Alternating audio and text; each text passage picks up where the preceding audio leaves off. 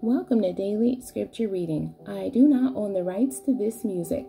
Numbers chapter 21, beginning at verse 10 and ending at verse 20. This is the English Standard Version.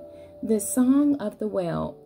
And the people of Israel set out and camped in Oboth.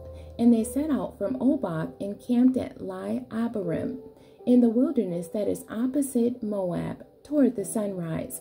From there they set out and camped in the valley of Zered. From there they set out and camped on the other side of the Arnon, which is in the wilderness that extends from the border of the Amorites.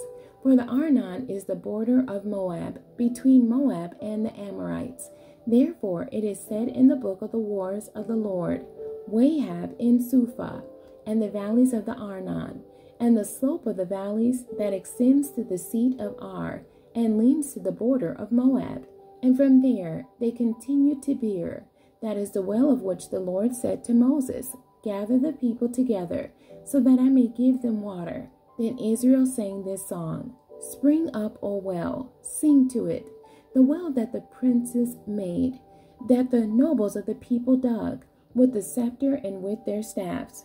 And from the wilderness they went unto Mattanah, and from Mattanah to Nahaliel, and from Nahaliel to Bamoth, and from Bamoth to the valley lying in the region of Moab, by the top of Pisgah that looks down on the desert. The end. God bless you, and thank you for joining me today.